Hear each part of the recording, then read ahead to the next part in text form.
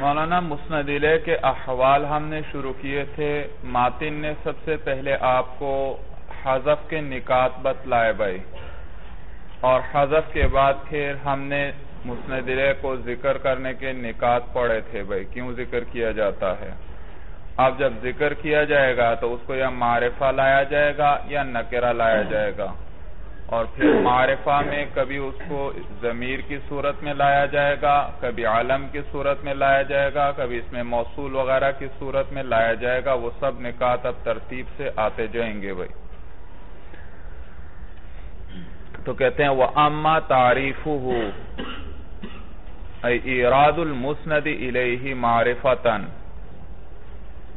علامہ تفتازانی نے تعریف کا بتلایا معنی کیا مراد ہے یہاں سے؟ کیونکہ تعریف کا معنی ہے، عرف یعرف تعریفن کا معنی ہے معرفہ بنانا۔ معرفہ بنانا، اور معرفہ بنانا یہ واضح کا کام ہے بھائی متقلم بلیغ کا کام نہیں۔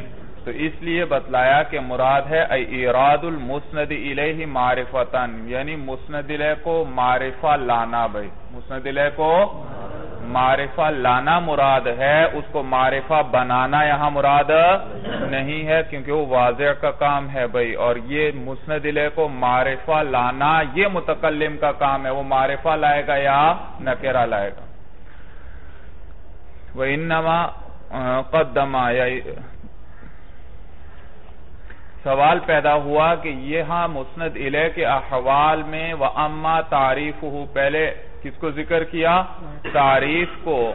اور بعد میں تنکیر کو ذکر کریں گے، جبکہ مسند کے اندر تنکیر کو پہلے ذکر کرتے ہیں اور تعریف کو بعد میں اس کی کیا وجہ ہے بھائی؟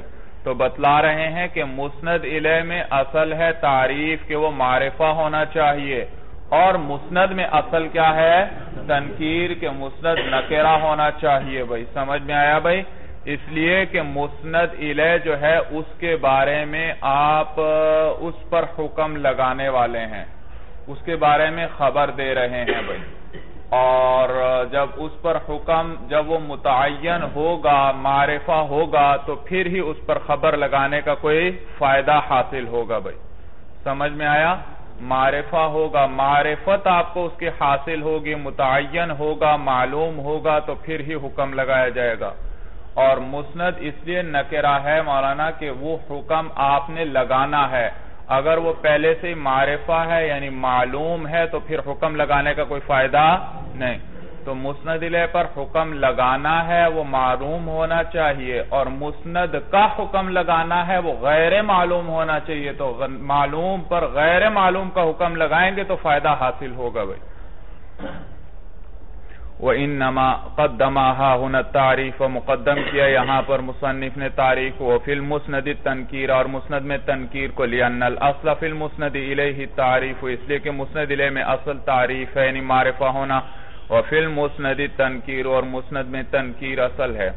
فَبِالْإِذْمَارِ پھر یہ معرفہ لانا بھئی میں نے بتلایا معرفہ کئی ہیں بھئی ضمیر بھی ہے اس میں موصول، اس میں اشارہ بھئی وغیرہ، تو ان میں سب سے پہلے ضمیر کو ذکر کر رہے فبیل ازماری ضمیر کے ساتھ ہوگا۔ لِأَنَّ الْمَقَامَ لِلْتَقَلُّمِ لِلْمُتَقَلِّمِ نہیں صحیح بھئی یہ کتابت کی غلطی ہے۔ لِلْتَقَلُّم ہونا چاہیے یہاں بھئی لِأَنَّ الْمَقَامَ لِلْتَقَلُّمِ اَوِ الْخِطَابِ اَوِ الْغَيْبَتِ۔ ضمیر کے ساتھ لایا جائے گا اس لیے کیونکہ مقام تکلم کا ہے یا خطاب کا ہے یا غیبت کا ہے بھئی بھئی مقام تکلم میں بھئی ضمیر ذکر کی جاتی ہے۔ آپ جب اپنے بارے میں کوئی بات کریں تو اپنے نام کے ساتھ ذکر کرتے ہیں یا ضمیر استعمال کرتے ہیں اپنی لیے؟ میں نے یوں کیا، میں نے یوں کیا، ضمیر لے کر آتے ہیں بھئی۔ اپنا نام ذکر نہیں کرتے۔ مثلا آپ کا نام زید ہے، اپنے بارے میں کچھ بتلا رہے ہیں تو یوں کوئی بھی نہیں کہے گا زید نے یوں کیا، زید نے، بلکہ وہ کیا استعمال کرے گا اپنے لیے؟ متقلم اپنے لیے ہمیشہ ضمیر استعمال کرتا ہے۔ تو مقام ہے تکلم کا۔ تو جب تکلم کا مقام ہے تو پھر کیا کس چیز کو ذکر کیا جائے گا؟ مسند لے کس کے ساتھ؟ ضمیر کے ساتھ۔ اسی طرح مخطاب کا مقام ہے بھائی، تو مخاطب کو بھی نام سے ساتھ نہیں ذکر کیا جاتا، بلکہ کس چیز کے ساتھ اس کو خطاب کیا جاتا ہے؟ ضمیر کے ساتھ، تم نے ایسا کیا، تم نے یہ کیا، تم نے وہ کیا، جو بھی بات کر رہے ہیں، نام نہیں لے رہے، بلکہ آپ کیا استعمال کر رہے ہیں؟ ضمیر استعمال کر رہے ہیں۔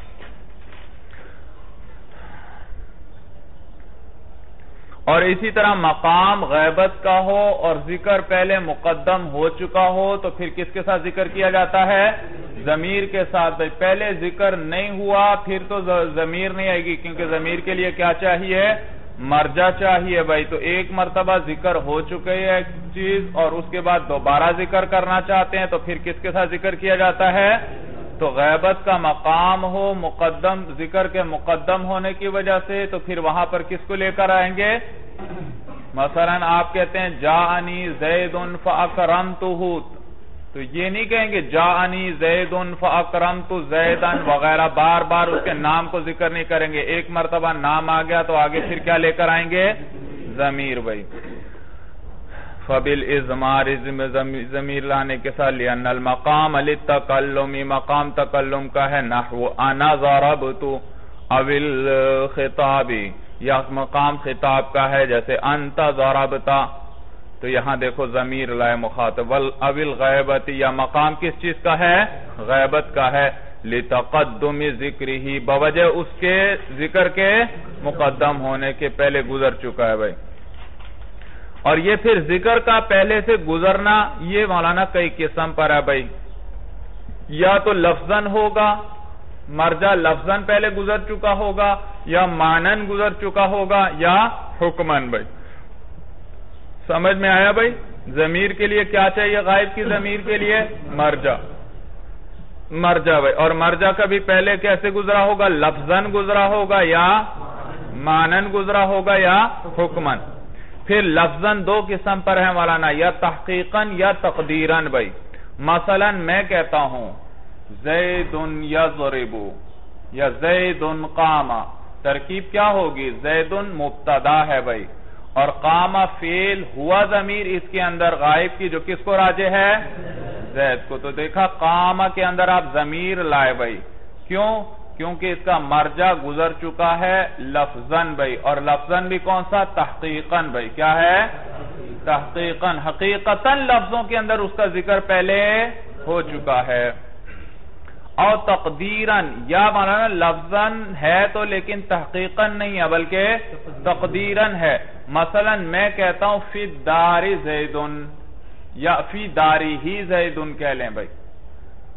فی فی داری ہی زیدن بھائی۔ اب یہاں پر بھی دیکھ لیں کہ فی داری ہی کے اندر ہا ضمیر کس کو راجے ہے؟ زید کو۔ بھئی زید تو بعد میں ذکر ہو رہا ہے، فی داری ہی زید تو کیا جواب دیں گے آپ بھائی کہ یہ مرجع لفظاً مقدم، لفظاً تقدیراً مقدم ہے بھائی۔ کہ زید، فی داری ہی ہے، خبر مقدم۔ اور زید کیا ہے؟ مبتدا مؤخر اور مبتدا کے اندر اصل کیا ہے؟ مقدم ہونا۔ اور خبر میں اصل کیا ہے؟ تو زید لفظوں کے اعتبار سے تو مؤخر ہے، لیکن رتبے کے اعتبار سے کیا ہے؟ مقدم ہے۔ تو جب رتبے کے اعتبار سے مقدم ہے، تو اب اس کی طرف ضمیر کا لوٹانا صحیح ہے بھائی۔ وَإِمَّا مَعْنًا یا مولانا، مرجع کیا ہوگا؟ معنن مذکور ہوگا بِدَلَالَتِ لَفْظٍ عَلَيْهِ کہ لفظ اس پر دلالت کر رہا ہے۔ جیسے قرآن میں آیا ہے بھئی اعدلو ہوا اقرب للتقوى عدل کرو تم۔ اور عدل کیا ہے؟ ہوا ضمیر کس کو راجے؟ عدل کو، عدل تقوی کے زیادہ قریب ہے بھائی۔ تو یہاں پر ہوا ضمیر عدل کو راجے اور عدل تو پیچھے کہیں مذکور نہیں، لیکن اعدلو کے ضمن میں عدل آ چکا بھائی۔ اعدلو کے ضمن میں کیا آ چکا؟ عدل آ چکا بھائی۔ تو یہ لفظ اعدلو اس پر دلالت کر رہا ہے۔ یا مولانا، قرینہ او قرینت حال یا کوئی قرینہ حالیہ ہوتا ہے جو اس پر دلالت کر رہا ہوتا ہے۔ جیسے قرآن میں آتا ہے، ولی ولی ابویہ لکل واحد منہما السدس۔ وراثت کے احکام بیان ہو رہے ہیں کہ میت کے جو والدین ہیں، ان میں سے ہر ایک کو کتنا ملے گا؟ سدس ملے گا۔ اب بھائی پیچھے تو میت کا ذکر نہیں، تو ابویہ کی ہا ضمیر کس کو راجے ہے؟ تو جواب یہ کہ میت کا ذکر آ چکا ہے کیونکہ مسئلہ کس چیز کا چل رہا ہے؟ وراثت کا، اور وراثت کی بات وہیں ہوگی جہاں کیا پائی جائے؟ جہاں کوئی میت ہو۔ تو میت کا ذکر کیا ہے؟ یہاں پر قرینہ موجود ہے۔ سیاق کلام کیا کر رہا ہے؟ اس پر دلالت کر رہا ہے۔ وہ اما حکمن، یا مرج حکمن مذکور ہوگا مولانا، جیسے ضمیر شان و قصہ وغیرہ۔ ضمیر شان اور قصہ۔ ضمیر شان کس کو کہتے ہیں؟ ایک مبہم ضمیر ہوتی ہے کہ آگے آنے والا جملہ اس کی تفسیر کرتا ہے۔ میں کہتا ہوں، ہوا زید قائم یہ ہوا ضمیر شان ہے۔ شان یہ ہے کہ زید کیا ہے؟ کھڑا ہے۔ تو ہوا ضمیر کی تفسیر کیا شان ہے؟ بھئی یہ زید قائم زید قائم تو یہ ہوا ضمیر، ایک مبہم ضمیر ہے، اس کی تفسیر آگے آنے والا جملہ کر رہا ہے، اور وہ کیا زیدون؟ تو یہی ضمیر اگر مذکر کی ہو تو ضمیر شان کہلاتی ہے، اور یہی اگر مؤنس کی ہو تو کیا کہلاتی ہے؟ ضمیر قصہ کہلاتی ہے۔ تو اب یہاں پر حکمن مرجع ہو چک مرجع کیا ہے؟ مذکور ہے، کیونکہ یہاں پر ہم نے مقدم کیا ضمیر کو کس لیے؟ ضمیر کا مرجع پہلے آنا چاہیے تھا۔ لیکن ہم نے یہاں ضمیر کو مقدم کر دیا تاکہ کلام میں ابہام پیدا ہو جائے۔ ابہام پیدا ہو جائے۔ اور ابہام کے بعد جب بیان آئے گا تو بات اچھی طرح ذہن نشین ہو جائے گی۔ میں نے کہا، ہوا۔ فوراً مولانا، آپ کی آنکھیں کھل گئیں، کان کھڑے ہو گئے، ذہن متوجہ ہو گیا کہ بھئی مرجع تو آیا نہیں، یہ ضمیر کدھر کو جا رہی ہے؟ میں نے کہا زید قائم تو پہلے ابہام تھا، اب آگے اس کا کیا آ گیا؟ بیان آ گیا، تو بات ذہن میں اچھی طرح، جب آپ کی توجہ کامل ہو گئی، تو بات اچھی طرح آپ کے ذہن میں بیٹھ گئی بھائی۔ تو ضمیر کا مرجع لفظاً مانن یا حکمن مقدم ہوگا بھائی۔ وَأَصُلْ الْخِطَابِ أَن يَكُونَ لِمُعَيَّنٍ۔ بھئی یہاں بتلا رہے ہیں، تمہید باندھ رہے ہیں۔ آگے متن آ رہا ہے، وقت یترکو رہی خطاب میں اصل یہ ہے کہ معین کے لیے ہونا چاہیے۔ کس کے لیے؟ بھئی خطاب کے لیے کیا استعمال کی جاتی ہے مقام خطاب میں؟ ضمیر۔ اور ضمیر کیا ہے؟ معرفہ۔ اور معرفہ کس پر دلالت کرتا ہے؟ کسی معین پر دلالت کرتا ہے۔ معرفہ کس پر دلالت کرتا ہے؟ کسی معین پر دلالت کرتا ہے۔ تو اس سوال پیدا ہوا۔ نیز مولانا، یہ ہے بھی خطاب۔ اور خطاب کس کو کہتے ہیں؟ توجیح الکلام الى حاضرین۔ کلام کو متوجہ کرنا حاضر کی طرف۔ جو شخص آپ کے سامنے موجود ہے، کلام کو اس کی طرف متوجہ کرنا۔ تو جو شخص آپ کے سامنے حاضر ہے، وہ کیا ہوگا؟ متعین ہوگا۔ تو انتا انتما انتم مثلا یہ خطاب کے لیے زمائر استعمال ہوتے ہیں اور ضمیریں کس کی دلالت کرتی ہیں بھائی؟ کس کس قبیل سے ہیں؟ معرفہ کی قبیل سے نکرہ کی قبیل سے؟ اور معرفہ کس لیے لایا جاتا ہے؟ متعین کے لیے یا غیر متعین کے لیے؟ اور تو یہ معرفہ ہے، یہ متعین کے لیے آئے گی۔ ضمیر خطاب کس لیے آئے گی؟ متعین کے لیے۔ نیز دوسری بات یہ کہ خطاب ہوتا بھی کس سے ہے؟ ہمیشہ جو سامنے حاضر ہو اور جو حاضر ہو، وہ کیا ہوتا ہے؟ متعین۔ تو معلوم ہو گیا کہ ضمیر مخاطب ہمیشہ کس کے لیے آئے گی؟ متعین کے لیے آئے گی۔ کس کے لیے آئے گی؟ متعین کے لیے آئے گی۔ تو اس پر وہم پیدا ہوا کہ شاید خطاب ہمیشہ متعین سے ہی ہوتا ہے، کبھی اس میں عدول نہیں ہوتا، غیر متعین کی طرف۔ لیکن آگے مصنف بتلا رہے ہیں کہ خطاب میں اصل تو یہ ہے کہ متعین کے لیے ہی ہو، لیکن کبھی کبھار خطاب کیا جاتا ہے کس کے لیے؟ غیر متعین کے لیے، تاکہ خطاب عام ہو جائے، ہر مخاطب کو شامل ہو جائے۔ کیا ہو جائے خطاب؟ ہر مخاطب کو شامل ہو جائے۔ دیکھیے، مثال آگے آئے گی، بات سمجھ میں آ جائے گی۔ وَأَصُلْ الْخِطَابِ أَن يَكُونَ لِمُعَيَّنٍ اور اصل خطاب میں یہ ہے کہ وہ معین کے لیے ہونا چاہیے۔ واحدن کان او کثیرن چاہے وہ معین ایک ہو یا ایک ہو، تو کون سی ضمیر لائیں گے؟ انتا کی۔ زیادہ ہو، دو ہو، تو انتما۔ اور اسی طرح جمع ہو، تو انتم کی۔ لأن اصل وضع المعارف على ان تستعمل لمعین اس لیے کہ اصل وضع معارف کی یہ ہے کہ وہ کس میں استعمال کیے جائیں؟ جب معرفہ ہے تو معرفہ کس کے لیے استعمال ہوتے ہیں؟ معین کے لیے. مع ان الخطاب هو توجیح الكلام الى حاضرین ساتھ اس کے کہ خطاب وہ بھی کس کو کہتے ہیں؟ توجیح الکلام، کلام کو متوجہ کرنا الہ حاضرین کس کی طرف؟ تو دو باتیں ذکر کر دی انہوں نے۔ ایک کیا کہ خطاب میں کے لیے آئے گی، ضمیر، اور ضمیر کیا ہے؟ معرفہ، اور معرفہ کس کے لیے استعمال ہوتا ہے؟ متعین کے لیے۔ نیز خطاب کہتے بھی کس کو ہیں؟ کلام کو متوجہ کرنا کس کی طرف؟ حاضر۔ اور حاضر بھی کیا ہوگا؟ متعین۔ معلوم ہوا خطاب کی ضمیر ہمیشہ کس کے لیے لائے گی؟ کس؟ متعین کے لیے۔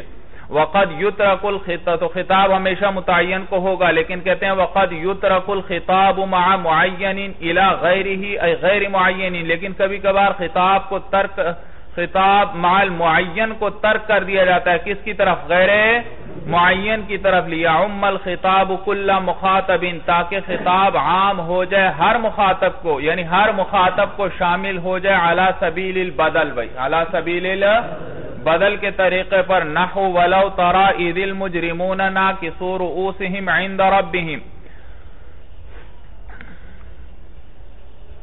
ولو ترا، اگر آپ دیکھیں جس وقت مجرم ناکسو رؤوسهم سر جھکائے ہوئے ہوں گے عند ربهم اپنے رب کے پاس.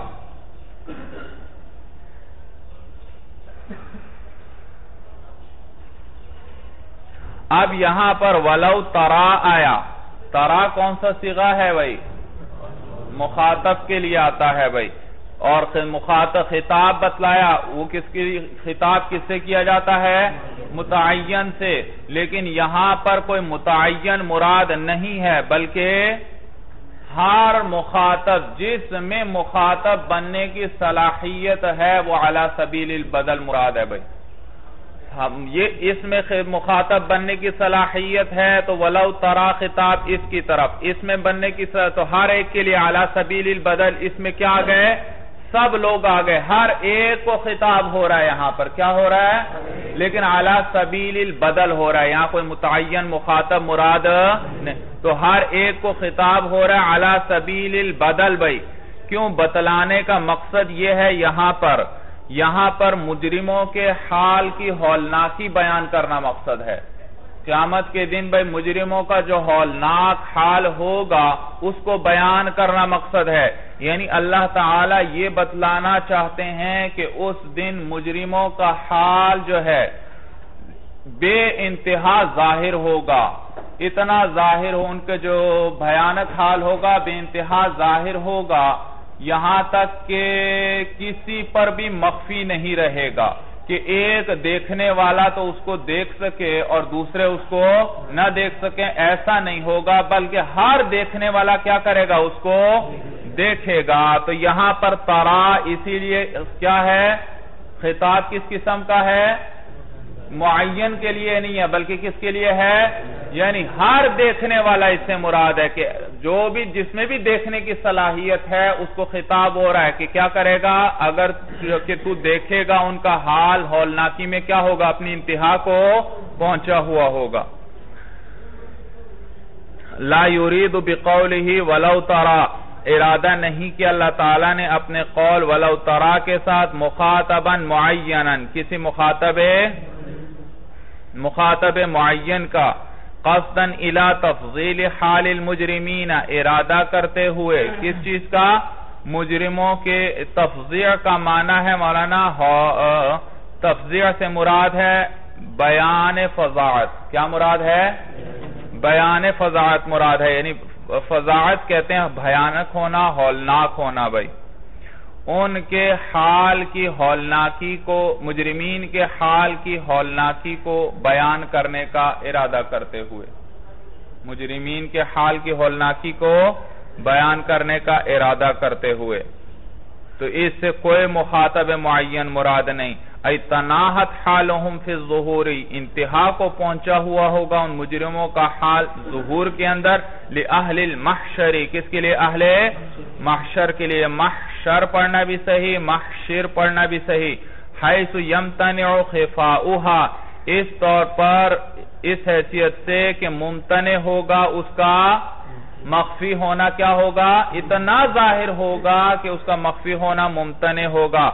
فلا يختص بها رؤیت الرائن، بس اس حال کے ساتھ اس حالت کے ساتھ خاص اس حالت کے ساتھ خاص نہیں ہوگی کسی دیکھنے والے کی رویت کے۔ بعض کو تو نظر آئے اور بعض کو نظر نہ آئے بھائی۔ تو ہر مخاطب کو خطاب ہو رہا ہے کہ اگر کہ تو دیکھے گا کہ مجرموں کیا ہوں گے؟ اپنے سروں کو جھکائے ہوئے ہوں گے بھائی۔ ہر ایک دیکھے گا۔ تو اس لیے یہاں خطاب کو کیا کیا گیا؟ متعین سے کس کی طرف متعین نہیں مراد بلکہ یہاں کیا مراد ہے؟ غیر متعین۔ ہر وہ شخص جس میں کیا ہو دیکھنے کی صلاحیت ہوگی اس کو خطاب ہو رہا ہے بھائی ہر شخص کو۔ تو مختص نہیں ہوگی اس حالت کی رویت کسی دیکھنے کے والے کے ساتھ، دون رائن کسی دوسرے، علاوہ کسی دیکھنے والے کے یعنی کسی کے ساتھ کوئی دیکھ سکے، کوئی نہ دیکھ سکے، ایسا نہیں ہوگا بھائی، سمجھ میں آیا؟ ہر ایک دیکھ سکے گا۔ وَإِذَا كَانَ كَذَلِكَ فَلَا يَخْتَصُ بِهِ اَيْ بِهَادَ الْخِطَابِ مُخَاطَبٌ پس خاص نہیں ہوگا اس خطاب کے ساتھ خاص نہیں ہے اس خطاب کے ساتھ، مخاطب دون مخاطب ایک مخاطب کسی ایک، کوئی ایک مخاطب علاوہ دوسرے مخاطب کے یعنی کوئی ایک بھی خاص نہیں ہے اس کے ساتھ دوسروں کو چھوڑ کر، بلکہ ہر ایک کو خطاب ہے۔ بل کل میت اتا منہ الرؤیت بلکہ ہر وہ شخص جس سے رویت حاصل ہو فلہ مدخل فی حاضر الخطاب تو اس کا بھی حصہ ہوگا بھائی۔ اس خطاب میں اس کا بھی حصہ ہے اس خطاب میں اس کو بھی خطاب ہو رہا ہے۔ وفی بعض النسخ فلا يختص بها بھئی اوپر متن میں کیا آیا؟ فلا يختص به مخاطب به کی ہا ضمیر کس کو لوٹائے؟ خطاب کو۔ کس کو؟ بس خاص نہیں ہے۔ اس خطاب کے ساتھ کوئی بھی مخاطب اس خطاب کے ساتھ خاص نہیں ہے، کوئی بھی ہر ایک کو خطاب ہو رہا ہے۔ کہتے ہیں، علامہ تفتادانی آگے آپ کو بتائیں گے کہ بعض نسخوں میں بیہا ضمیر مؤنس کیا ہی ہے، فلا اختص بیہا مخاطبن پھر اس صورت میں بتلائیں گے آپ کو کہ ضمیر ہا ضمیر کس کو راجے ہے؟ حال کو راجے ہے۔ کس کو راجے ہے؟ فلا اختص بیہا ای بتلک الحالی، پس نہیں خاص ہوگا اس حال کے ساتھ مخاطب کوئی بھی عبارت پہ غور کرنا بھائی، پس خاص نہیں ہوگا اس حال کے ساتھ کوئی ایک مخاطب، کوئی ایک بھائی خواب بھائی، وہ حال جو ہے، وہ مجرموں کے ساتھ قائم ہے یا مخاطب کے ساتھ قائم ہے؟ کس کے ساتھ؟ مجرموں کے ساتھ وہ تو قائم ہے۔ لہذا اگر ہا ضمیر ہو تو وہ لوٹے گی حال کو۔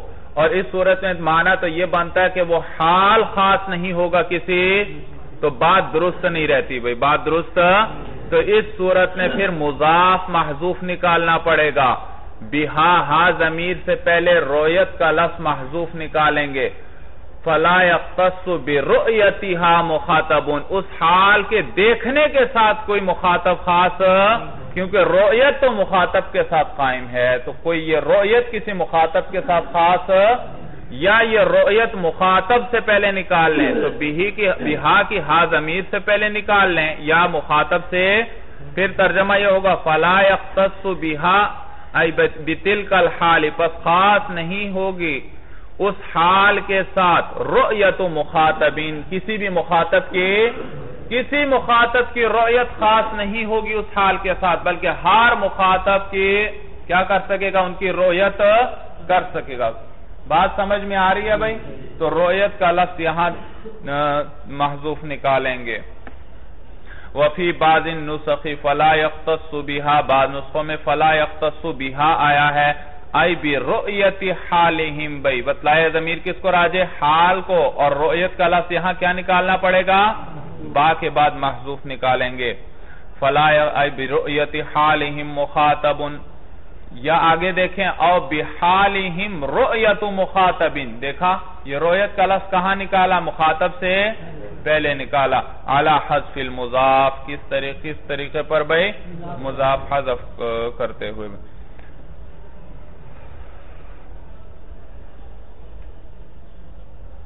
وَبِالْعَلَمِيَّةِ جی ضمیر کے ساتھ ذکر کیا جاتا ہے مولانا، اس لیے کہ مقام کس چیز کا ہوتا ہے، مسند علیہ کو بھی لایا جاتا ہے، کس صورت میں؟ ضمیر کی صورت میں، کیونکہ مقام تکلم کا ہوتا ہے یا خطاب کا ہوتا ہے یا غیبت کا ہوتا ہے۔ جی یہ ایک معرفہ گزر گیا۔ وَبِالْعَالَمِيَّةِ اور کبھی مولانا مسند علیہ کو معرفہ لایا جاتا ہے عالمیت کے ساتھ۔ ای تعریف المسند علیہ بی ایرادی عالمن یعنی مسند علیہ کو معرفہ بنانا، اس معرفہ بنانا کیسے؟ بی ایرادی عالمن اس کو لاتے ہوئے اس حال میں کہ وہ کیا ہو؟ عالم ہو۔ وَهُوَ مَا وُزِعَ لِشَيْءٍ مُعَيِّنٍ۔ مدم کے بارے میں بتلا رہے ہیں۔ وہ اسم ہے جس کو وضع کیا جائے بھائی کسی شے معین کے لیے، مع جمیع مشخصاتی ہی مشخصاتی ہی ای اماراتی ہی اس کی ساری نشانیاں۔ شخص یشخص تشخیص کے معنی متعین کرنا بھائی، متعین کرنا، مقرر کرنا، ممتاز و نمایاں کرنا۔ مشخصات نشانیاں بھائی، نشانیاں۔ بھئی عالم یاد رکھو، ذات ذات پر بھی دلالت کرتا ہے اور ساتھ ساتھ تمام نمایاں، ممتاز یا علامتوں پر بھی یعنی نشانیوں پر بھی۔ عالم کس چیز پر دلالت کرتا ہے؟ صرف ذات کے لیے یہ نہیں، وضع مولانا کہ ذات زید کے لیے، بلکہ یہ وضع ہے ذات زید کے ساتھ ساتھ اس کی جو تمام نشانیاں ہیں ان سب کے لیے۔ تو علم دلالت کرتا ہے، ذات کے ساتھ ساتھ اس کی تمام نشانیوں پر بھی دلالت کرتا ہے۔ سمجھ میں آیا بھائی؟ جو اس کو نمایاں کا ممتاز کرنے والی ہوں۔ لِإِحْضَارِهِ اَيْ الْمُسْنَدِ إِلَيْهِ بِعَيْنِهِ اَيْ بِشَخْصِهِ۔ تاکہ حاضر کیا جائے، مولانا مسند علیہ کو۔ یرحمک اللہ بِعَيْنِهِ اَيْ بِشَخْصِهِ۔ بِعَيْنِهِ اَيْ بِشَخْصِهِ بھئی تاکہ مسند علیہ کو حاضر کیا جائے بیعینی ہی ای بذاتی ہی بھئی اس کی ذات کے ساتھ، بھئی۔ بھئی آپ نے کہا زیدن قائمن، یا قام زیدن۔ آپ مسند علیہ کو کس کے ساتھ لے کر آئے ہیں؟ کس صورت میں؟ عالم کی صورت میں۔ کس لیے؟ کہ آپ اس مسند علیہ کو حاضر کرنا چاہتے ہیں۔ کس کے ذہن میں؟ جو مخاطب کے ذہن میں بعینی ہی یعنی اس کی ذات کے ساتھ کہ اس کی ذات ہی کیا ہو جائے، مخاطب کے ذہن میں حاضر ہو جائے، مخاطب کے ذہن میں حاضر ہو جائے۔ علامہ تفتازانی اس کا معنی کر رہے ہیں اے بشخصی ہی بھئی۔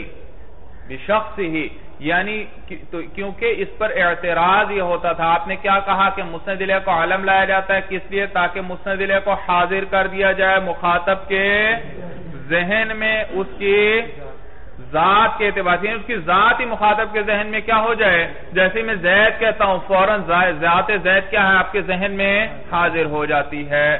تو اس پر اشکال ہوتا ہے مولانا۔ ذات باری تعالی جو ہے، اللہ تعالیٰ کی ذات کی کوئی حقیقت سے واقف ہی نہیں ہے۔ اور تو وہ کیا ہے؟ اللہ کے لیے بھی، ذات باری تعالیٰ کے لیے عالم کیا ہے؟ اللہ۔ تو یہ تاریخ تو اس پر وہاں تو ایسا نہیں ہو سکتا مولانا۔ اللہ کی ذات تو کسی کے ذہن میں حاضر جب اللہ کی ذات کی حقیقت کا ہی نہیں کسی کو پتا۔ تو جواب دیا مولانا کہ ذات سے مراد ذات نہیں ہے، بلکہ تعین و تشخص ہے کہ وہ ذات کیا ہو جائے، متعین ہو جائے، ممتاز ہو جائے دوسروں سے۔ کیا ہو جائے؟ چاہے کسی بھی طور، چاہے اپنے اوصاف کے لحاظ سے کیوں نہ ہو جائے۔ اللہ کی ذات تو معلوم نہیں، لیکن اللہ کے اوصاف وغیرہ تو معلوم ہیں، جس کے ذریعے وہ باقیوں سے ممتاز ہو جاتے ہیں۔ بحیث یکون متمیزا عن جمیع ما عداہ، اس حیثیت سے کہ وہ ممتاز ہو جائے جمیع ما عدا سے بھئی تمام باقی چیزوں سے۔ واحترد بهذا عن احضاره باسم جنسه نحو رجل عالم. جاءني. اور احتراز کیا اس بیعینی ہی کی قید کے ذریعے مسند علیہ کو حاضر کرنا بسم جنس ہی کس کے ساتھ اس کے؟ اسم جنس کے ساتھ، جیسے آپ زید کے بارے میں بتلانا چاہتے ہیں اور کہتے ہیں رجل عالم جاءنی رجل عالم جاءنی۔ تو کیا رجل عالم جاءنی کہنے سے ذات زید آپ کے ذہن میں حاضر ہوئی؟ ذات زید حاضر نہیں ہوئی بھئی تو اس سے احتراز ہو گیا۔ فی ذہن سامع ابتداء کس میں بھئی کہاں پر حاضر کرنا چاہتے ہیں؟ سامع کے ذہن میں ابتداء ای اول مرتین، پہلی مرتبہ میں۔ بھئی جب پہلی مرتبہ ذکر کر رہے ہیں تو کس کے ساتھ حاضر کرنا چاہتے ہیں؟ بذاتی ہی، اور کس کے ساتھ؟ پہلی مرتبہ۔ بھئی پہلی مرتبہ کہنے سے احتراز ہو گیا ضمیر غائب سے۔ میں نے کہا، جاءنی زیدن۔ جانی زید وہوا راکبن تو زید نے بھی کیا کیا؟ زید لفظ جب میں نے کہا تو آپ کے ذہن میں کیا ہوا؟ ذات زید آ گئی۔ اسی طرح جب میں نے آگے کہا وہوا راکبن، یہ ہوا ضمیر بھی کس کو راجے زید کو۔ تو اس ہوا ضمیر سے بھی کیا ہے؟ ذات زید کیا ہے آپ کے ذہن میں؟ آ گئی۔ لیکن یہ جو ہوا کی وجہ سے ذات زید ذہن میں حاضر ہوئی، یہ ابتداءن ہوئی ہے یا ثانین ہوئی ہے؟ جی ثانین تو ابتداءن کہا تو ہوا کی ضمیر کیا ہوئی؟ خارج ہو گئی۔ احتراز ہو گیا اس سے۔ وَاحْتَرَدَ بِهِ عَن نَحْوِ جَاءَنِ زَيْدٌ وَهُوَ رَاكِبٌ بَي اس سے احتراز کی یعنی غائب کی ضمیر سے بھئی بسم مختصم بھی۔ ایسے اسم کے ساتھ جو اسی کے ساتھ خاص ہو، اسی مسند علیہ کے ساتھ۔ کہتے ہیں دوبارہ متن دیکھو، مسند علیہ کو کبھی معرفہ لایا جاتا ہے عالم لا کی صورت میں لحظاری ہی بیعینی ہی تاکہ حاضر کیا جائے مسند علیہ کو اس کی ذات کے ساتھ۔ فی ذہن سامعی، سامع کے ذہن میں ابتداءن اور بسم مختصم بھی ایسے اسم کے ساتھ جو اس کے ساتھ خاص ہے خاص ہے۔ بیہی کا مرجع بتلایا ای بالمسند الیہی بحیث لا یطلق بی حاض الوضع علی غیرہی کہ اس وضع کے اعتبار سے اس کا اطلاق غیر پر نہیں ہوتا۔ بھئی دیکھو، کبھی ایسا ہوتا ہے۔ زید، جب بھی میں کہتا ہوں، آپ کے ذہن میں کون آتا ہے؟ زید۔ تو یہ اسم اس کے ساتھ خاص ہے۔ یہ اسم اسم اس کے ساتھ۔ لیکن کبھی تو دو یا تین آدمیوں کا نام زید ہوتا ہے۔ دو یا تین آدمیوں کا خاص ہوتا ہے۔ تو پھر تو آ، یہ تو اس میں مختص نہ رہا۔ یہ تو دو تین پر بولا جا رہا ہے۔ کہتے ہیں بھئی اس میں مختص ہے بے اعتبار وضع کے، اس زید کے لیے وضع الگ ہوئی ہے، اس زید کے لیے وضع الگ ہوئی ہے۔ تو اس وضع کے اعتبار سے یہ اسی زید کے ساتھ خاص ہے۔ اس کے والدین نے اسی کے لیے وضع کیا تھا اور اس کے والدین نے، تو یہ اس میں مختص ہے۔ وَاحْتَرَضَ بِهِ عَنِ حِزَارِهِ بِزَمِيرِ الْمُتَقَلِّمِ أَوِ الْمُخَاطَبِ وَاسْمِ الْإِشَارَةِ وَالْمَوْصُولِ وَالْمُعَرَّفِ بِلَامِ الْأَحْدِ وَالْإِضَافَةِ. بھئی جب اس میں مختص کی قید لگائی کہ آپ مسند علیہ کو حاضر کرنا چاہتے ہیں، اس کے ایسے نام کے ساتھ جو اسی کے ساتھ مختص ہے، اب اس کے ذریعے احتراز ہو گیا، ضمیر متکلم سے بھی، ضمیر مخاطب سے بھی۔ اس میں اشارہ سے بھی، اس میں موصول سے بھی، معرف بلام عہد سے بھی، اور مضاف المعرفہ سے بھی۔ کیسے احتراز ہوا؟ بھئی دیکھو، ضمیر متکلم جو ہے، میں کہتا ہوں آنا۔ آنا کس لیے، کس کے لیے استعمال کی جاتی ہے؟ متکلم اپنے لیے آنا ضمیر استعمال کرتا ہے۔ لیکن یہ متکلم اسی متکلم کے ساتھ مختص نہیں ہے۔ جو بھی متکلم آئے گا، وہ اپنی تعبیر کس سے کرے گا؟ آنا سے کرے گا۔ سمجھ میں آیا؟ تو وضع کے اعتبار سے یہ عام ہے مولانا۔ وضع کے اعتبار سے آنا ضمیر۔ البتہ استعمال کے اعتبار سے یہ خاص ہے۔ استعمال کے اعتبار سے آنا کو وضع کیا گیا تاکہ ہاں جو بھی متکلم ہو وہ اپنی تعبیر کس سے کرے؟ آنا سے۔ تو یہ عام ہے۔ یہ کیا ہے؟ کلی ہے۔ لیکن جب بھی استعمال کرے گا کوئی متکلم، مثلا میں کرتا ہوں، میں کہتا ہوں آنا، تو یہ کیا بن گیا استعمال کے اعتبار سے؟ اب جزی بن گئی۔ پہلے کلی تھا، لیکن اب جزی بن گیا۔ اپنے لیے میں نے استعمال کیا۔ تو یہ اس میں مختص ہو گیا میرے لیے کوئی؟ جی میرے ساتھ اس میں مختص نہیں ہے، مختص نہیں۔ تو اس میں مختصن بھی کی قید کے ساتھ، بھائی غائب کی ضمیر تو ابتداءن کی قید سے نکل گئی تھی۔ دوسری کون سی ضمیریں باقی تھیں؟ مخاطب کی اور متکلم کی۔ تو اس میں مختصن بھی کی قید لگائی تو متکلم کی ضمیر نکل گئی۔ اسی طرح مخاطب کی ضمیر بھی نکل گئی۔ انتا کے ساتھ میں آپ کو تعبیر کرتا ہوں، لیکن یہاں استعمال کے اعتبار سے اس وقت تو یہ جزی ہے، خاص ہے، آپ جو متکلم مخاطب ہے۔ لیکن وضع کے اعتبار سے یہ کیا ہے؟ عام۔ جو بھی شخص جس مخاطب پہ واحد کی بھی تعبیر کرے گا، کس کے ساتھ کرے گا؟ انتا سے۔ تو یہ بھی اس میں مختص نہیں ہے۔ اسی طرح مولانا، اس میں اشارہ بھی خارج ہوا، کیونکہ اس میں اشارہ ہر مشارن الہ قریب کے لیے وضع ہے۔ ہر مشارن الہ تو یہ اس کے لیے اس میں مختص نہیں۔ جو بھی مشارن الہ قریب ہوگا، اس کے لیے کیا لفظ استعمال کیا جائے گا؟ حاضہ اس میں اشارہ مثلا استعمال کیا جاتا ہے۔ تو وضع کے اعتبار سے یہ کلی ہے۔ وضع کے اعتبار سے کیا ہے؟ ہر مشار نیلے قریب کے لیے، مذکر کے لیے کیا استعمال کریں گے؟ ہاں لیکن جب بھی استعمال کریں گے، تب کیا بن جائے گا؟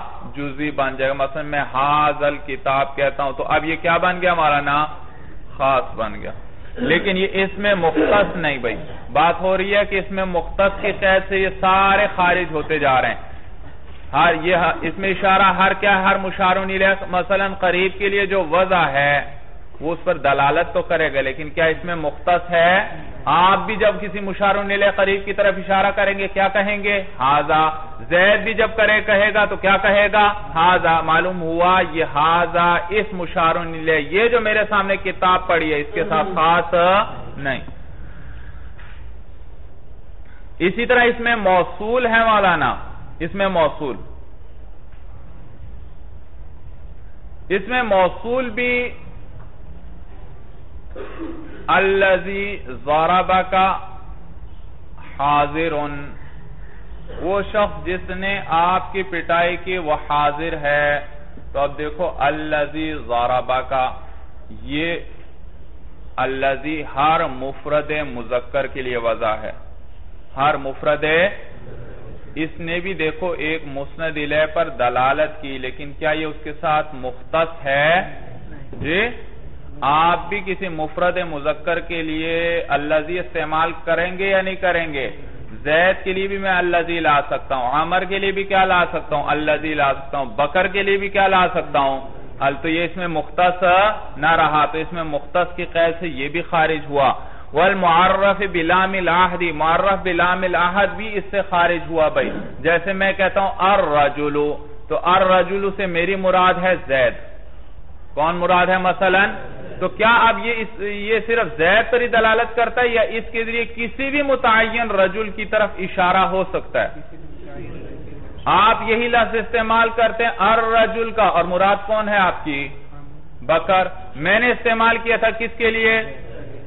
تیسرا کو استعمال کرتا ہے خالد کے لیے، تو کسی کے لیے بھی، کسی بھی متعین فرق کے لیے یہ استعمال ہوتا ہے معرف بلام عہد۔ تو یہ بھی اس میں مختص نہیں کسی کے ساتھ، یہ بھی خارج ہوا اس طرح سے۔ والاضافتی، اضافت بھی مولانا، مثلا میں کہتا ہوں غلامی، میرا ایک ہی غلام ہے۔ اور میں نے کیا کہا؟ غلامی۔ جیسے ہی میں نے غلامی کہا، آپ کے ذہن میں فوراً کون آ گیا؟ میرا وہ غلام آ گیا۔ لیکن کیا یہ اس کے ساتھ اس میں مختص ہے؟ نہیں۔ اس غلام کو میں بیچ دیتا ہوں، کل دوسرا غلام لے آؤں گا، وہ بھی کیا کہلائے گا؟ غلام ہی کہلائے گا۔ معلوم ہو یہ اس میں مختص نہیں۔ تو جب اس میں مختص کی قید لگائی، تو ضمیر متکلم بھی خارج ہوئی، ضمیر مخاطب بھی، اس میں اشارہ بھی، اس میں موصول بھی معرب بلام لحد بھی، اور اضافت بھی۔ وهذه القيود لتحقيق مقام العالمية وإلا فالقيد الأخير مغن عما سبق. بھئی مصنف نے کیا کہا کہ مسند علیہ کو معرفہ لایا جائے گا کس چیز کے ساتھ؟ اس کو عالم کے ساتھ ذکر کرتے ہوئے۔ لِئِحْضَارِهِ صرف یہ کہہ دیتے لِئِحْضَارِهِ بِسْمِ مُخْتَصٍ بِهِ۔ لِئِحْضَارِهِ تاکہ مسند علیہ کو حاضر کیا جائے۔ بھئی کس طرح اس کے اس میں مختص کے ساتھ جب اس میں مختص کی قید آ جاتی تو پھر یہ سارے خارج ہو جاتے۔ ضمیر متقلم بھی خارج ہو جاتی، ضمیر غائب بھی خارج ہو جاتی۔ اس میں موصول وغیرہ جو ابھی ذکر ہوئے، سارے کیا ہو رہے تھے؟ خارج۔ جب سارے خارج ہو رہے تھے تو یہ بیعینی ہی کہنے کی کیا ضرورت تھی؟ یہ ابتداءن کہنے کی کیا ضرورت تھی؟ مصنف آسان سی بات کرتے لیے ہزاری ہی فی ذہن السامعی بسم مختصم بھی بیعینی ہی اور ابتدان کی قید کی کوئی ضرورت نہیں۔ تو جواب دے رہے ہیں علامہ تفتازانی کی یہ مقام علمیت کی تحقیق کے لیے ذکر کیا۔ مقام علمیت کیا مانا؟ وہ مقام جو تقاضا کر رہا تھا کہ مسند علیہ کو کس صورت میں لاؤ، علم کی صورت میں۔ وہ مقام جو کیا تقاضا کر رہا تھا؟ بھئی ایک مقام تھا تقاضا کر رہا تھا، مسند علیہ کو ضمیر لاؤ، کیونکہ تم تکلم کر رہے ہو بھئی یہ مقام تکلم ہے، اس کو کس صورت میں لاؤ؟ ایک مقام تقاضا کرے گا کہ مسند علیہ کو کس صورت میں لاؤ؟ عالم کی صورت میں لاؤ؟ اس مقام کی تحقیق کے لیے یہ بیعینی ہی اور ابتداءن کی قید بڑھائی۔ وہ مقام کون سا ہوگا؟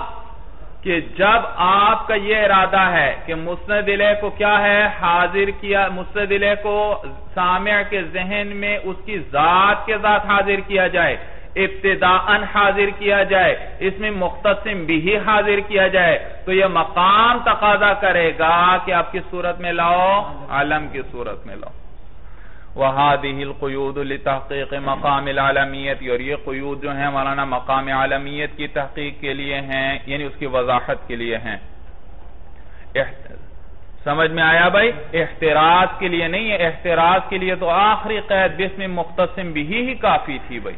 وَإِلَّا فَالْقَيْدُ الْأَخِيرُ مُغْنِنْ عَمَّا سَبَقْ، اور اگر ایسا نہ ہوتا یعنی یہ احتراز کے لیے ہوتی پھر تو فلقید الاخیر و مغن عما سبقت، پھر تو آخری قید جو تھی وہ بے پرواہ کیا کرنے والی تھی؟